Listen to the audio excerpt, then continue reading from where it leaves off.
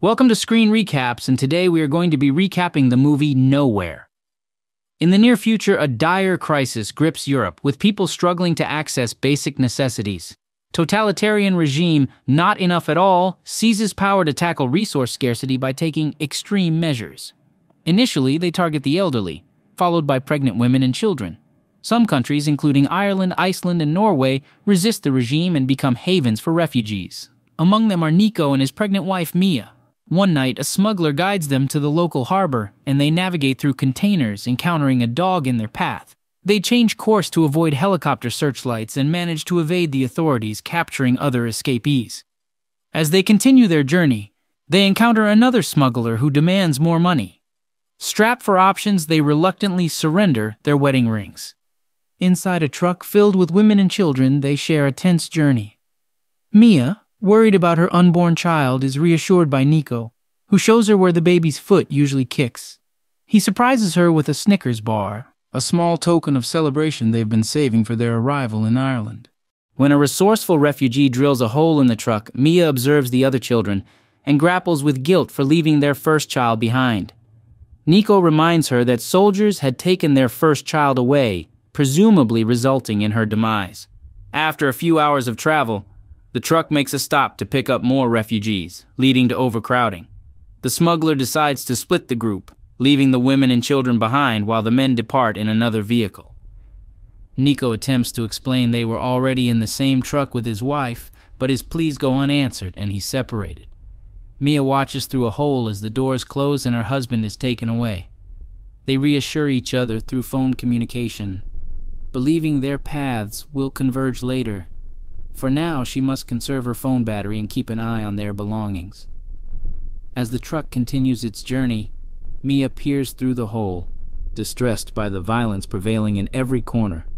Soldiers mercilessly quell riots, and women are hauled away in cages, resembling livestock.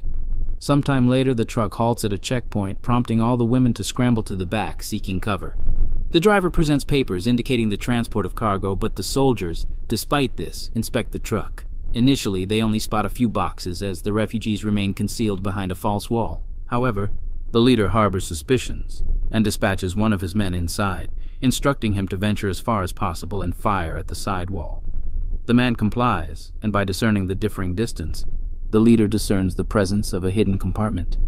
He and his soldiers enter, urging the women to emerge. Fearing the worst, Mia clambers atop the crates just before one of the women opens the concealed wall. The leader swiftly dispatches her, and the other soldiers open fire, resulting in the massacre of the entire group while Mia is drenched in their blood. In the end, the sole survivors are the dog and a young child. The dog manages to escape, but the soldiers ensure the child's demise as well. After their departure, Mia weeps and sends her husband a message, urging him to remain hidden. A few hours later, the truck arrives at another harbor and the container is transferred to be loaded onto a ship. Mia attempts to contact Nico, but he doesn't answer, so she leaves another message informing him that the ship is transporting her away. She then checks the contents of her bag and illuminates the area with a light before drifting off to sleep. Sometime later, Mia awakens as the container begins to shake. Through the bullet riddled holes, she observes the sailors scurrying around due to a fierce storm wreaking havoc on the ship. Mia cries out for help as the jolting causes her to tumble and sustain injuries until a sudden impact renders her unconscious. Moments later, Mia regains consciousness and realizes that water is seeping into the container through the holes. When she gazes outside, she discerns that the ship has sunk, and all the containers, including hers, are adrift in the middle of the sea. She begins to panic and attempts to call Nico but her phone is shattered and unresponsive. Next, she tries an additional phone from her bag, but she can't recall the password to unlock it. After ensuring the baby's well being, Mia observes that water continues to infiltrate the container, prompting her to start opening the crates in search of useful items. Regrettably, she only finds items like plastic containers, televisions, alcoholic beverages, and earbuds. Among them, she locates several hoodies and dons one of them, after surveying the contents, she collects her belongings that spilled from her bag, including some tape and a Swiss Army knife. Employing the tape to temporarily seal the holes and slow the water's ingress, Mia discovers her diary and finds solace in a picture of her family. Suddenly, she hears screams and peers through the hole to witness a container gradually sinking with people inside. A distraught Mia screams Nico's name and inserts her SIM card into the functional phone, but Nico doesn't answer as the container sinks, leaving Mia in distress. Throughout the next few hours, she repeatedly tries to reach Nico on the phone without success. By nightfall, she contemplates using the knife for drastic measures but is startled when she feels the baby moving Mia resolves to persevere for the sake of the baby and goes to sleep while listening to the whales singing outside. Later, she notices a hanging crate trembling and moves aside just before it drops, inadvertently causing water to rush into the container. She briefly believes she's about to drown but wakes up, realizing it was a nightmare. She finds the tape has come loose and the water situation worsens. She places a crate under the hanging one and releases it with her knife, only to discover more plastic containers. Initially frustrated, she gets an idea. She extracts rubber from the container lids and uses it to seal the lower holes. Mia also repurposes a machine from one of the crates to siphon off the water. She arranges two crates against the wall for a makeshift bed and marks the water levels with tape, counting down the days until it reaches a critical point. After another futile attempt with the phone, Mia dismantles earbud wires and hangs her diary photographs to dry. Then she examines her provisions, ensuring she rations her water bottles and food appropriately. She also discovers that the drill and lighter, left behind by others, are still functional. Out of the blue, her phone receives a call from an unfamiliar number, and Mia answers to discover it's Nico. He couldn't respond earlier due to a drained battery, and he's alive because the other driver deceived them. Rather than taking them to the harbor, he left the group on the outskirts of the city. Mia recounts her ordeal, and Nico vows to rescue her, emphasizing the need to conserve battery and survive for their child. Suddenly, Mia experiences a contraction and pleads with the baby to wait a little longer. She takes a bite of her sandwich and repositions the crates, though boredom eventually sets in. She observes an approaching storm and feels another contraction, hoping it's a false alarm. However, she soon realizes her assessment was incorrect. The storm arrives, rocking the container, and the baby is indeed on the way. Mia screams in pain as water enters the container once more and her phone rings, but it slips from her hand when she attempts to answer. With no alternative, Mia removes her dress and clings to the crate's rope, standing up as she delivers the baby in the water. The umbilical cord is entwined around the baby's neck, but Mia swiftly removes it and soothes the baby until she cries.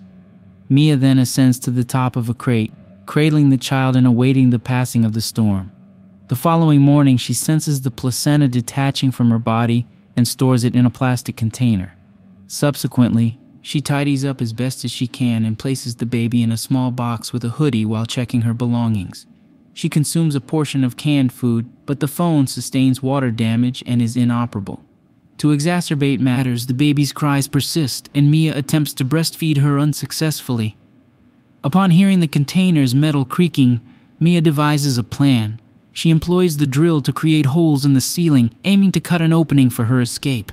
However, the noise intensifies the baby's crying. She tries to soothe her, but even singing proves ineffective, leading Mia to lose her temper and shout at the infant. At least when she comprehends her actions, she promptly offers an apology. Moments later, Mia senses her chest responding and attempts to feed the baby once more. This time, milk flows, and the child finally feeds. When exhaustion overtakes her, Mia succumbs to the temptation of finishing all the food she has. Then she returns to drilling the ceiling, but regrettably, the drill's battery depletes before she can complete the task. Subsequently, she reinserts the SIM card into the original phone, but it remains unresponsive. Frustration eventually overwhelms her, prompting her to vent her frustration by throwing her possessions in anger. Upon discovering the knife, she endeavors to utilize it on the ceiling holes, only to find it painful for her hands. As time passes, Mia has no other recourse but to care for the baby, occasionally dampening the child's skin to provide relief from the heat. Sleeping proves difficult, as her empty stomach constantly grumbles. Ultimately, desperation prevails, and Mia decides to consume her own placenta. Suddenly, she hears the whales outside once more, and when she peers out, the container is struck by a whale, causing the baby to cry once again. Mia responds by thumping the container walls, startling the whale away. The following morning, Mia tries once more to use the knife on the holes, only to have it break. The phone remains unresponsive, and Mia consumes the last of the clean water. Overcome by dizziness due to the heat, Mia gathers some seawater and pours it over her head. She resorts to licking water droplets from the ceiling, but this makes her ill after a few minutes. The dizziness worsens with time, and Mia suddenly envisions a paper plane landing on her legs. In that moment, her first daughter materializes, blaming her mother for her death at the hands of the soldiers. Mia weeps as Nico also appears beside her, reminding her that it wasn't her fault. When Mia awakens from this dream, she feels better because it's finally raining, and water trickles through the holes. Mia ensures she drinks some water and collects as much as she can in the plastic containers. She also seizes the can, but when the lid breaks, she gets an idea. The rope from the crates is threaded through the holes in the ceiling, and Mia starts pulling down until she finally succeeds in creating an opening that allows sunlight to filter in. Afterward, Mia ascends to the top of the container and confirms that there's no land in sight. She and the baby spend their time there to get some fresh air, and when it's time to change the baby, Mia discards the soiled hoodie into the water. This attracts the attention of a group of fish, prompting Mia to hastily acquire some rope and a piece of metal to attempt fishing. Despite her efforts, she struggles to catch a single fish. Frustrated, she suddenly spots a passing plane and rushes back into the container to break a television, procuring a piece of its screen. She climbs back out, but in her haste, she inadvertently injures her leg. Temporarily disregarding the pain, she employs the screen piece to reflect sunlight, but the plane fails to notice her and flies away. Disheartened, Mia returns inside the container and employs wires and small metal pieces to stitch her wound. It's an excruciating process, so she attempts to alleviate the pain with alcohol. Subsequently, she observes the numerous earbuds and devises another plan. Using the wires, she begins crafting a net. Once completed, she tosses it into the sea with a soiled cloth and manages to ensnare some fish, which she consumes raw. Over the ensuing days, Mia diligently works on her survival, she continues to remove water from the container using a hose and successfully catches fish with the net, storing them in the plastic containers. She also extracts paper sheets from her diary to write multiple SOS notes, placing them in containers with the hope that someone will come across them.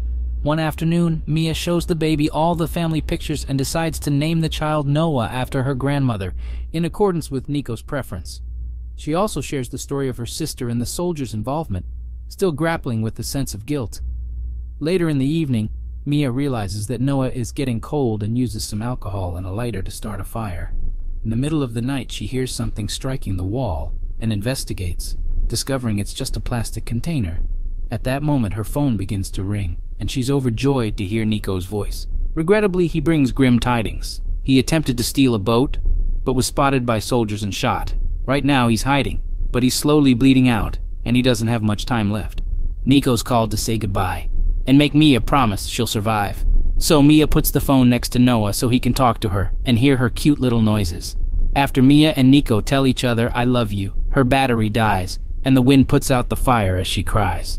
It's then revealed that Mia still has the Snickers bar, which she's saving for the end of her journey, as promised. On day 26, Mia is about to lose it. There are drawings and rants on paper sheets taped all over the container walls, which is about to reach the water limits. So Mia and the baby are now living on top of it. Mia also is using the crate wood, the plastic containers, and the rope to put together a raft. Suddenly, a seagull lands on the container to take some of her fish, and this gives Mia hope because it means they must be near land. Later in the evening, Mia manages to start a new fire and gets a sail ready for her raft. Suddenly, she hears a noise inside the container and realizing it'll sink soon. Mia dives in to gather all her pictures. She also sees the Snickers bar inside a plastic container, so she takes the risk and goes further inside to grab it. As the water pushes the raft with Noah away, Mia's foot gets tangled with some rope, so she struggles against it while trying not to drown. With the piece of metal, she manages to cut off the rope and quickly swims out of the container right before it finally sinks. When Mia reaches the surface, She's terrified to discover she can't see Noah. At that moment, a wall passes by and expels some water, which hits Noah and makes her cry. Now Mia can follow the direction of the noise and reunite with her daughter. The next morning, while they float around, Mia opens a plastic container and throws out some fish, hoping to attract some birds. Soon, a bunch of seagulls are flying above them, and this is noticed by a boat that is sailing nearby. They immediately take the boat in that direction and to rescue the small raft, finding Noah inside alive and well. There's also a rope coming out of the raft and falling into the sea, so the sailors start pulling until Mia's body comes out. The sailors immediately start applying CPR, but Mia won't wake up. However, they refuse to give up for the sake of the baby. After lots of chest compressions, Mia finally reacts, and the sailors hand the baby to her before using the radio to call for help. It takes Mia a moment to realize she's safe, and when she looks at the horizon, she sees they're approaching Ireland, meaning she'll be able to get the new life she wanted.